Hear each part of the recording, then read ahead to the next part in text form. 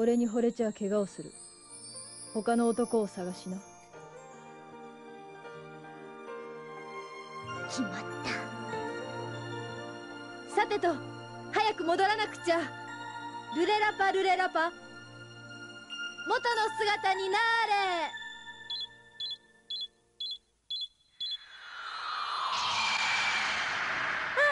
あほっと一息えも戻ってないもしかして呪文を間違えたとか。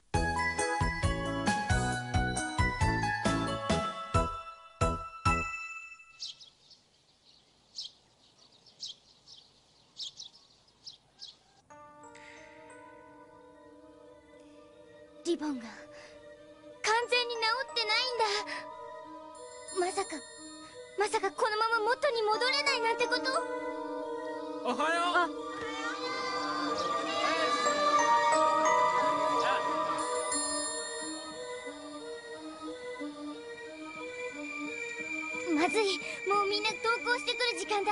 こんな格好のまま学校になんていられない。逃げなきゃ。おお小林。ゴゴリ先今日はやけに早いな。感心感心。ようやくお前にも真面目に勉学に取り組もうとああ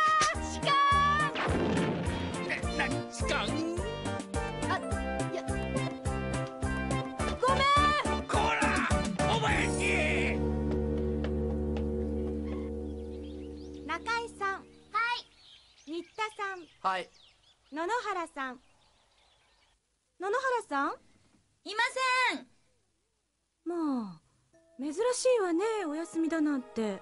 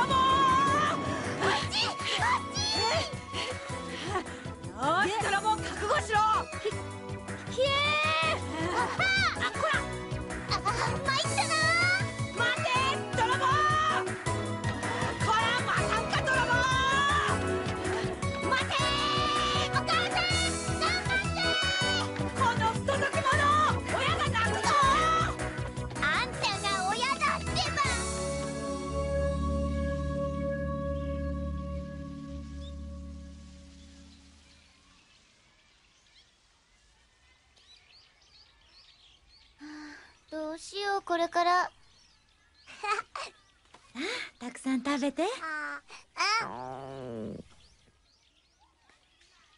そろそろ給食の時間だ。確か今日のメニューはカレーのはず。う大好物だったのに。よそよそ考えるのは。そうだ水でも飲もう。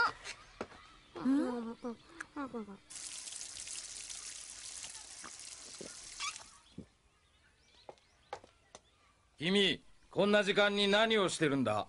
え？学校はどうした？ごめんなさい今から行きます。あもう走ってばっかり。カカレー食べたいな。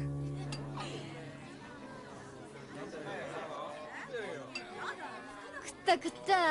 大地面会人だぞ。面会に誰だよ？まあ行きゃわかるって。これ頼む。おおう。この色男。あんまり女を泣かすんじゃねえぞ。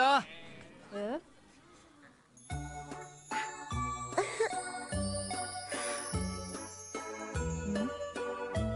ん？ななんか用？用ってほどのことじゃないんだけど一言どうしても伝えたくって今朝のあなたとっても素敵だった。え？ななんだよそれ。今朝と俺何かしたっけ？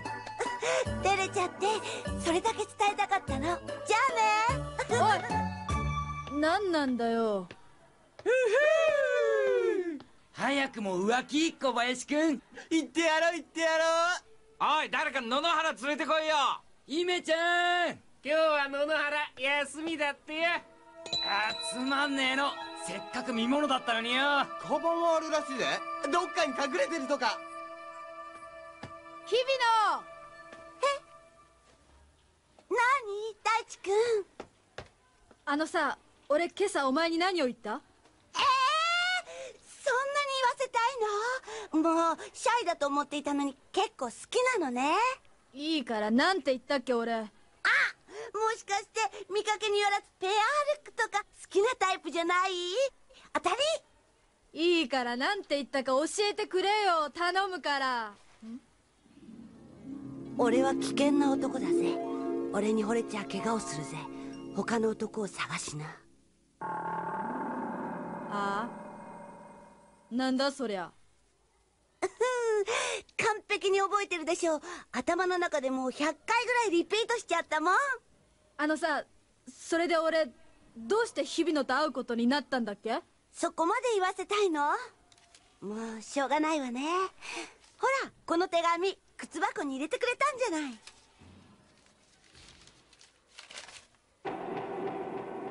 俺の字じゃない。やっぱり。サンキュー日々野え？嘘もう行っちゃうの？釣れないんだからもう。そこがまた魅力だけど鉄俺今日早退する。よろしく。ああおい大地！この町のどこかにもう一人の俺がいる。そしてそれはもしかしたら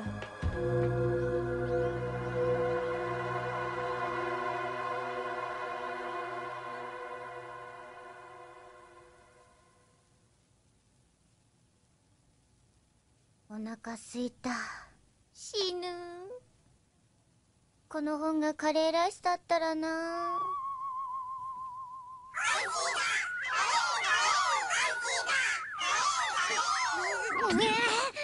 ままた水でも飲むか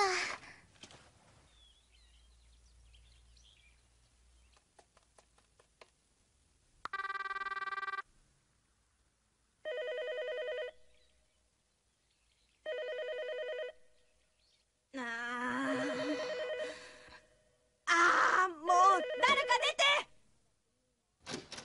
出て締め切り前だって言うのに。はい。あもしもし野々原さんのお宅ですか？僕同じ中学の小林と言いますが姫子さんいらっしゃいますか？姫子？まだ学校から戻ってませんけど。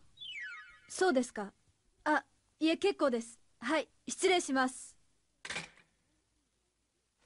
姫子のボーイフレンドかしら？変なの突如主人公の娘のボーイフレンドから謎の電話が。それがあっと驚く意外な展開へと導く。小説のネタになるわ。いただき。やっぱり。よし。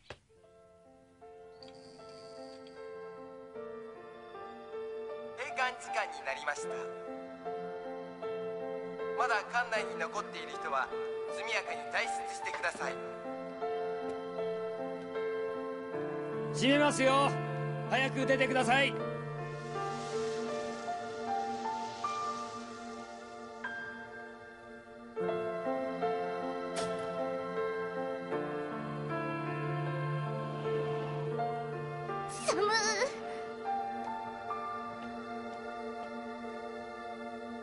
ルレラパルレラパ元の姿になれ。やっぱりダメか。もう100回ぐらいやったっけ。様こういう場合でも1時間以内に元の姿に戻らなければ一生変身した姿のままでいることになるのでさっさ。リボンが故障した場合は特別よ。リボンさえ完全に戻れば元の姿に戻れるはず。でもでも？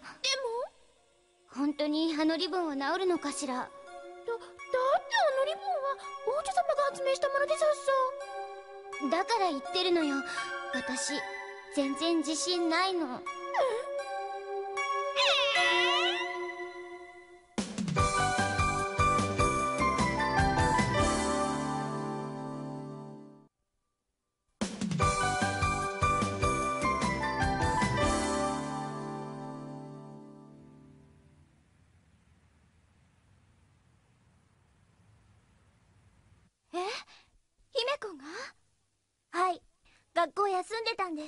カバンだけはあったけどおかしいわね。いつもより早く出たはずなのに。どうしたの？騒がしいわね。お母さんどうしよう。姫子今日学校に行ってなかったんですって。え？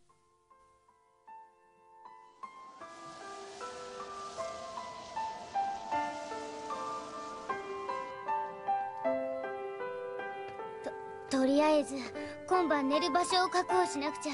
でもそんな場所あるのかな？ああうんいやあね酔ってるわ。中学生じゃない？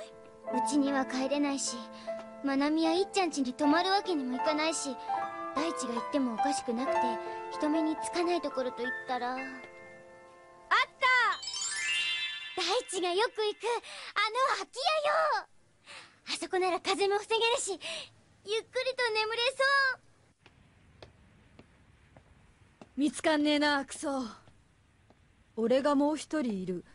やっぱあいつがどう考えてみてもそれしかありえないんだけどな。とりあえず秘密の隠れ家に戻ってみるか。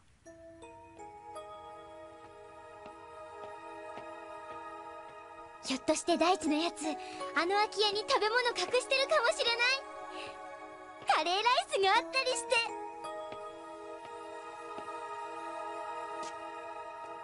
こここだ。なんか今日はお城みたい。もう何でもいいから食べたい。カップ麺でも冷凍食品でも。えっと入り口はともし俺の考えが合ってるとしたらどこであいつそんな力を？もともと魔法使いだったとか。あっ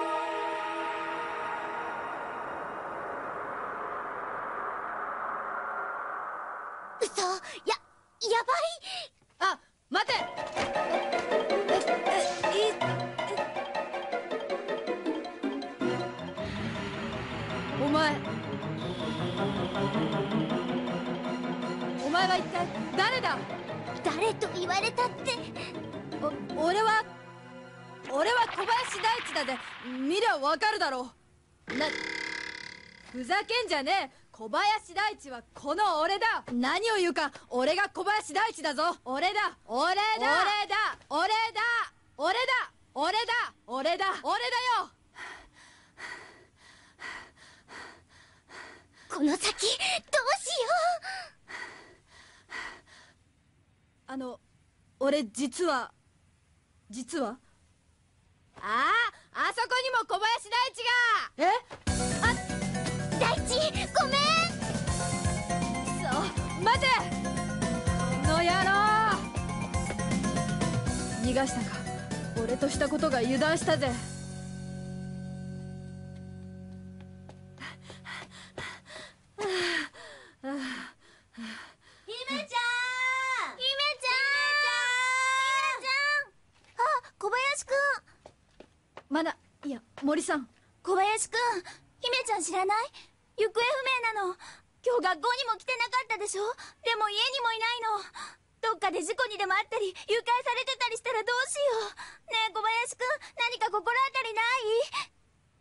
まなみ私のためにこんな夜遅くまで一生懸命。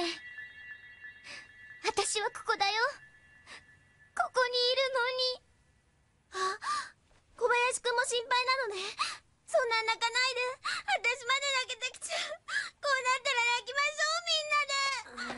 まなみほらいいから探そう。小林くん何か分かったら連絡ちょうだいね。小林くんの腕掴んじゃったまなみそんなこと言ってる場合じゃないでしょ？さあ行こう。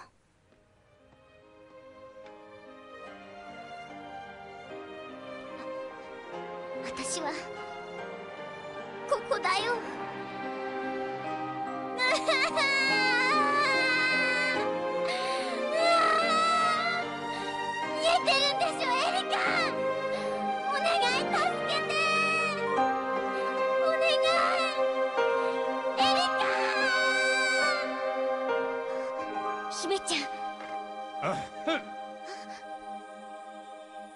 エリカ様。分かってるわよね。掟ではアイテムを渡してから1年間は人間界に降りていってはいけないのでしょ？分かってらっしゃればよろしいのですが。一体どうすればいいのよ？困ったそう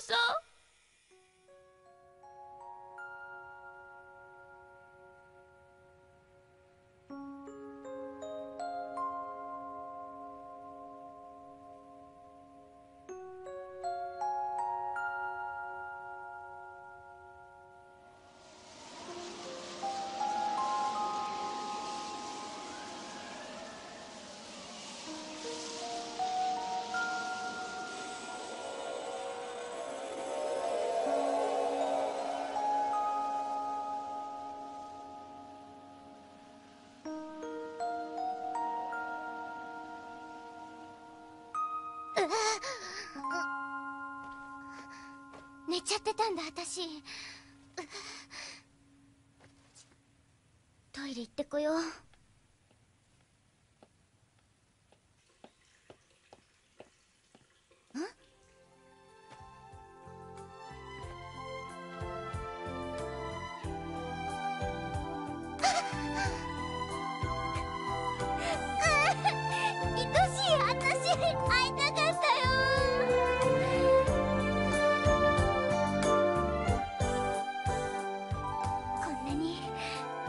自分の姿が嬉しいって思えたの初めて。よかった。本当によかった。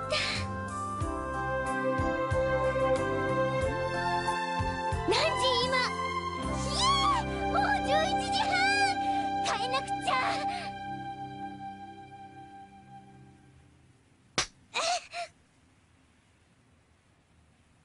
もう本当にこの子は。どこに行ってたの？こんな時間まで。みんな一体どれだけ心配したと思ってんの？ごめんなさい。もう10分待って戻らなかったら警察に連絡しようと思ってたんだからね。どうして電話の一本も入れずにこんな夜遅くまで。私は私はもうてっきりあんたが誘拐されたんだとばっかり思って私は仕事するよ。締め切りが近いってのに。まったくもう。ほら夢子も早く寝なさい。ほらほら夢子愛子。二人ともさっさとお風呂入って寝なさいよ。明日も学校あるんでしょ。お母さん忙しいのにいろんなところに電話して私たちもさっきまで心当たりを探し回っていたのよ。お姉ちゃんうちっていいね。もう少しは反省しなさい。この風船娘。はい。そうそう。まなみちゃんといっちゃんに電話してよ。二人とも心配して探してくれてたんだから。うん。あ姫ちゃん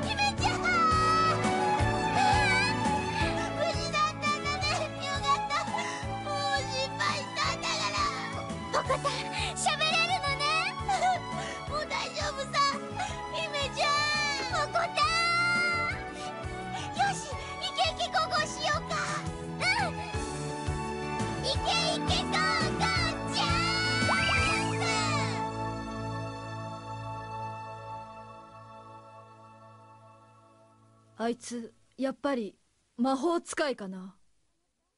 ああなた？うん姫子やっと帰ってきた。心配しなくていいわ。うんお仕事頑張ってね。うんじゃあね。そうだ。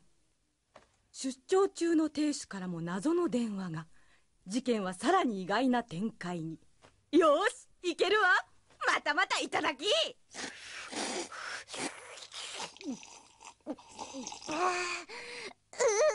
おいしい。私今度のことで考えたんだ。これからはあんまり変身の力に頼らないことにするんだって。へえ珍しい。姫ちゃんがそんなこと言うなんて。いいの。これからは私自身を大事にしてあげるの。もっと。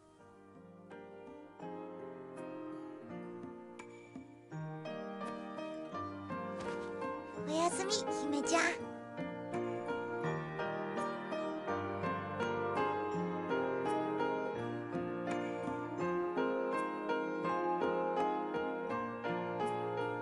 リボンが治って姫ちゃんも元に戻れて本当によかった。でも他の人に変身することって何なのかしら。ちょっぴり考えさせられちゃった。